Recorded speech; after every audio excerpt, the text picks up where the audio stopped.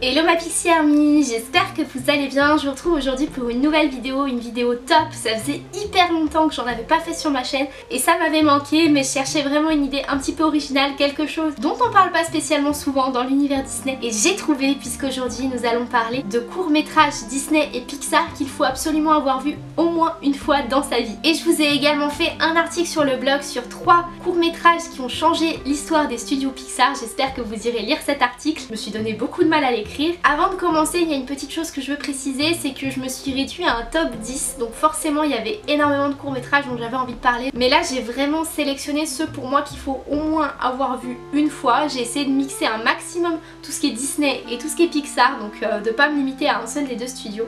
Et j'espère que ceux-ci vous plairont. En dixième position, j'ai choisi de vous parler de Toy Story 3 Vacances à Hawaï, un court métrage qui est sorti en 2011 en première partie de Cars 2. C'est le premier court métrage qui a été fait après la saga Toy Story et qui a donné suite ensuite à beaucoup de courts et moyens métrages sur l'univers Toy Story. C'est un court métrage qui se passe après les événements de Toy Story 3 puisque tous les jouets appartiennent maintenant à Bonnie. Bonnie part en vacances à Hawaï et Ken et Barbie se cachent dans son sac à dos en pensant pouvoir partir avec elle en vacances sauf qu'il reste forcément à la maison. Et c'était un voyage important pour Ken puisque c'était le voyage où il comptait donner pour la première fois un baiser à Barbie. Donc les jouets prennent le relais et ça nous donne des scènes hyper fun, hyper drôles, ça donne la banane, ça reste dans le ton vraiment des Toy Story. Et c'est ce que j'ai beaucoup apprécié, moi il y a certains moments qui m'ont fait mourir de rire mais no spoiler. C'est pas un court métrage particulièrement innovant ou qu'avec une forte morale mais je le trouve très sympa et vu que c'est le tout premier des courts métrages Toy Story, je pense que ça vaut vraiment le coup de le voir. En 9ème place, on retrouve La Reine des Neiges, La Fête Givrée, donc c'est le premier court métrage Disney de cette longue liste. Il date de 2015 puisqu'il était présenté en première partie de Cendrillon, le film. Et c'est un court métrage qui a eu énormément de succès. Après, c'est vrai que La Reine des Neiges, quand il est sorti en 2013, a eu un énorme succès et le court métrage a suivi. Elsa prépare un anniversaire surprise pour Anna et elle a mis les petits plats dans les grands pour cette occasion. Pendant qu'elle présente à Anna toutes ses surprises, elles se mettent à chanter toutes les deux une chanson que j'adore. Et ce qui est rigolo, c'est qu'en fait, Elsa s'enrhume. Donc voilà, il est plutôt sympathique. Si vous aimez l'univers de la Reine des Neiges, vraiment, je vous conseille de le voir.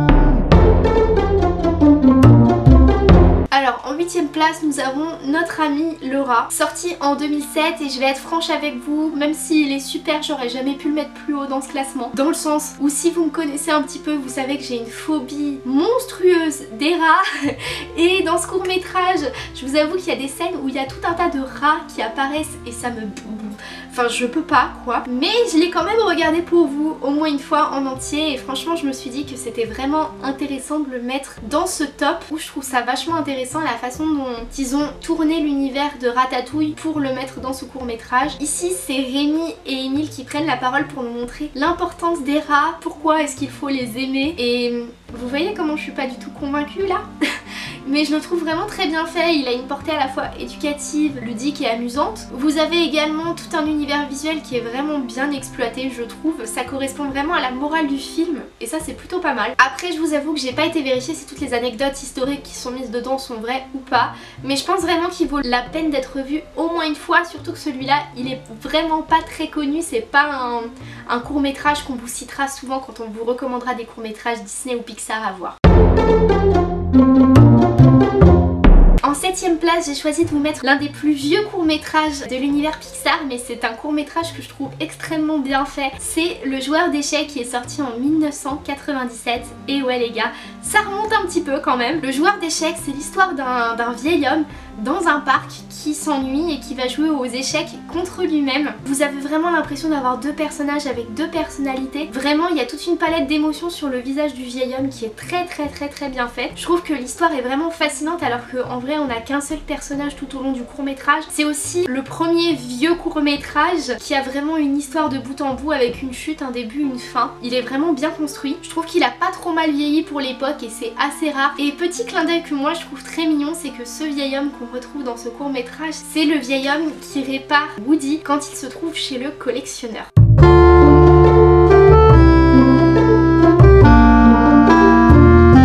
Sixième place, je vous parle d'un court métrage qui est extrêmement connu, reconnu et qui est très apprécié, c'est La Luna, donc un court métrage Pixar sorti en 2012 et qui pour moi est vraiment visuellement l'un des plus beaux qui est sorti de par les effets de lumière puisque bah il y a beaucoup d'étoiles, la nuit etc. Je trouve que c'est très fascinant, très joli et vraiment il y a un univers, je sais pas, ça me fait un petit peu penser au Petit Prince, vous voyez, j'aime beaucoup l'ambiance qui se dégage de ce court métrage et c'est aussi l'un des plus poétiques et dans ce court métrage on suit les aventures d'un petit garçon qui va apprendre à débarrasser les étoiles de la lune et qui va être accompagné pour ça de deux monsieur qui ont deux techniques bien différentes. Visuellement on comprend tout de suite le message qui veut être donné dans ce court métrage et petite anecdote assez mignonne, c'est que je crois que c'est l'un des courts-métrages que j'ai le plus vu à Vidéopolis à l'époque où ils passaient les courts-métrages Disney et Pixar.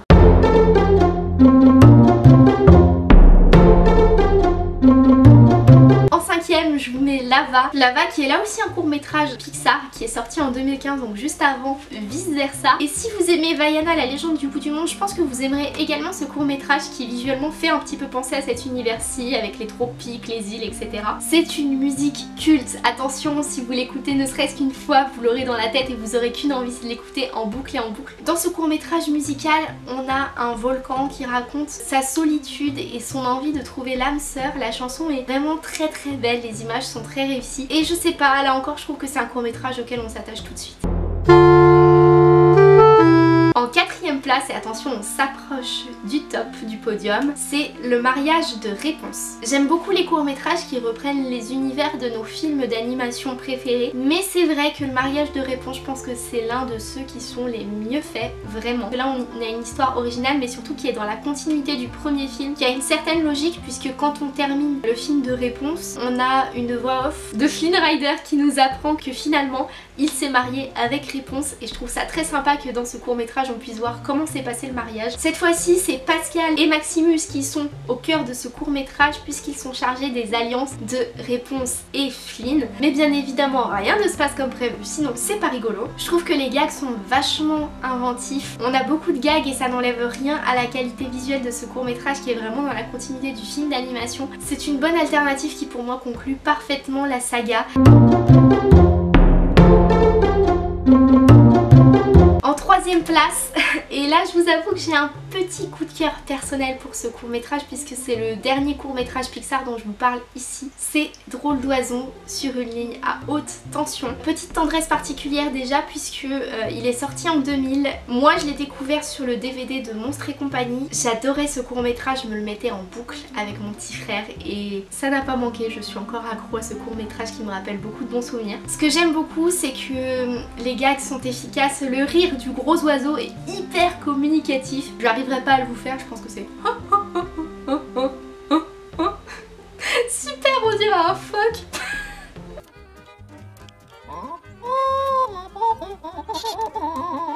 En fait vous avez toute une rangée de petits oiseaux un peu à la Angry Bird hyper désagréables qui sont sur leur ligne à haute tension. Et là t'as un gros oiseau qui se pointe et qui se met en plein milieu de la ligne. Donc bien évidemment ils veulent le dégager de leur ligne. Et en fait la situation prend un autre tournant, part à l'avantage du gros oiseau. Et c'est hilarant, hyper communicatif et je pense que c'est l'un des plus marquants en plus des studios Pixar, généralement celui qui reste dans l'esprit des gens. Et vraiment si vous l'avez pas vu vous allez vous taper une sacrée barre devant ce court métrage. En deuxième place, et je pense que ce sera une surprise autant pour vous que pour moi, c'est que j'ai choisi de vous mettre Pepperman. Pour être très honnête avec vous, je pensais vraiment, avant de re-regarder tous les courts-métrages, qu'il arriverait en première place. Dans ma tête, c'était vraiment mon court-métrage préféré. C'est un court-métrage qui était diffusé juste avant Les Mondes de Ralph au cinéma et je me rappelle la première fois que je l'ai vu avoir été absolument captivée par la beauté des images, ce côté noir et blanc, cette magnifique romance, ces avions au papier très aériens, vraiment très romantique. J'avais vraiment été éblouie par les images et le concept de ce court métrage et avec les années et en le revoyant là, il y a quelque chose qui m'a manqué, c'est la musique. Et dans ma tête, c'était vraiment quelque chose de beaucoup plus fort. C'est absolument merveilleux, c'est vraiment un court métrage que je trouve magnifique et qu'il faut pour moi que vous voyez absolument. Mais c'est vrai que du coup, c'est le tout petit point qui a fait la différence avec le premier court métrage dont je vais vous parler juste ici.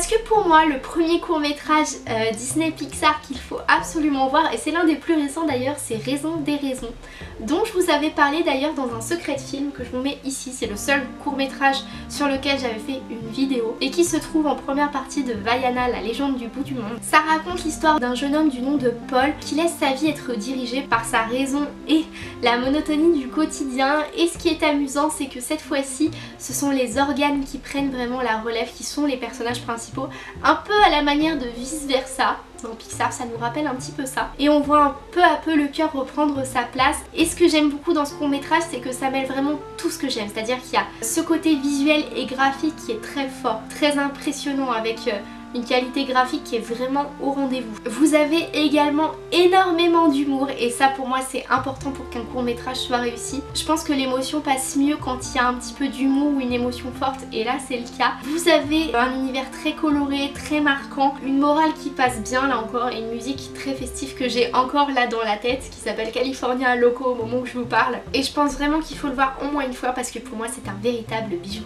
d'animation.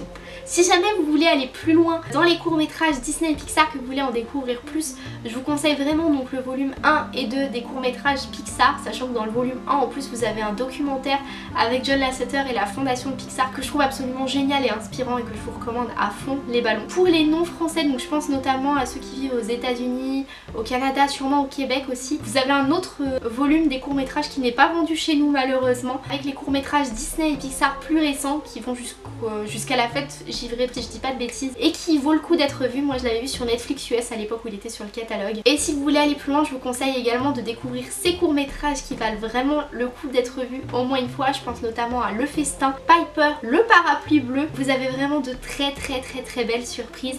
Et d'ailleurs, dites-moi dans les commentaires, vous, quels sont vos courts-métrages préférés, ceux que vous aimez ou pas d'ailleurs. N'hésitez pas également à me conseiller des courts-métrages qui sont pas spécialement Disney Pixar, ça me permettrait d'en découvrir et ça pourrait être plutôt sympa d'échanger là-dessus ensemble. N'hésitez pas à liker la vidéo également si les courts-métrages c'est un sujet qui vous intéresse. Ça me permettra de savoir aussi si vous aimez que je fasse des tops sur la chaîne, ça faisait un petit moment que j'en avais pas fait. Et en attendant la prochaine vidéo, prenez soin de vous, je vous aime. Bisous, bisous, bisous. Je vais peut-être manger un morceau.